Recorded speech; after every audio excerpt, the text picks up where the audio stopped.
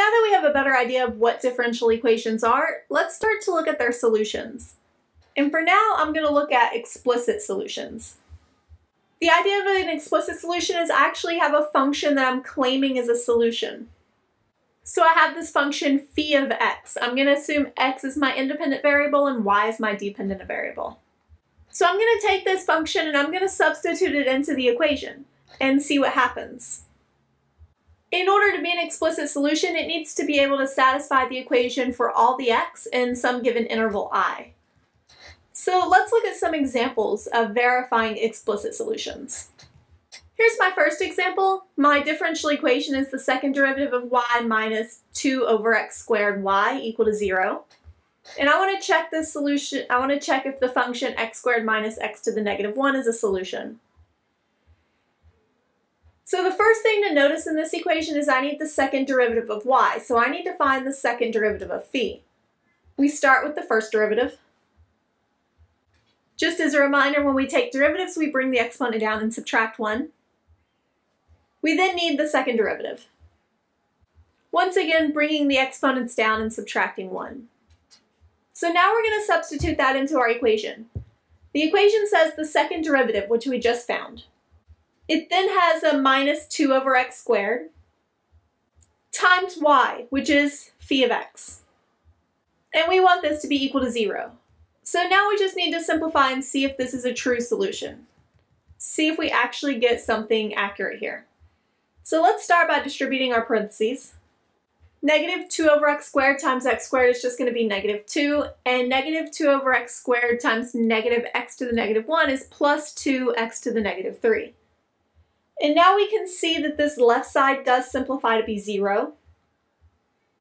So I do get a true solution. So this does satisfy on the interval of x not equal to 0, since x equal to 0 would give me an undefined answer here since I would have zeros on the bottom of a fraction.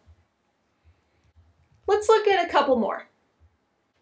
This time I have the same differential equation I had before, but my solution that I want to check is just as psi of x equal to x cubed. So once again, I need to start by finding the second derivative since I need the second derivative for my differential equation. We see the first derivative, I bring the exponent of 3 down and subtract 1 to get 3x squared. And then the second derivative, I bring the 2 down and subtract 1 to get 6x. I then need to stick this into my equation, which starts with the second derivative.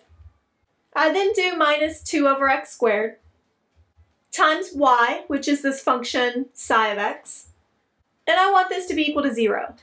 So let's start by simplifying that 2 over x squared times x cubed. And for that I get 6x minus 2x equal to 0. We then subtract on the left to get 4x, which is not a true statement. 4x is not always equal to 0, so this would not be an explicit solution. Let's do one more. Here my differential equation says second derivative of y minus the first derivative of y minus 2y equal to 0. And my function that I want to check to be a solution, c1 e to the negative x plus c2 e to the 2x, where c1 and c2 are constants. My differential equation requires the second derivative, so let's find the second derivative of this function. We can see the first derivative is negative c1 e to the minus x plus 2c2 e to the 2x. The second derivative would then be c1 e to the negative x plus 4 c2 e to the 2x. So let's substitute this in. The differential equation starts with the second derivative. It then says minus y prime, so minus the first derivative. And then finally minus 2y, so minus 2 times this original function. And this should be equal to 0. Let's start by distributing my parentheses. So now that I've distributed my parentheses, there's still a lot going on here. So let's start to group things by e to the negative x and e to the 2x.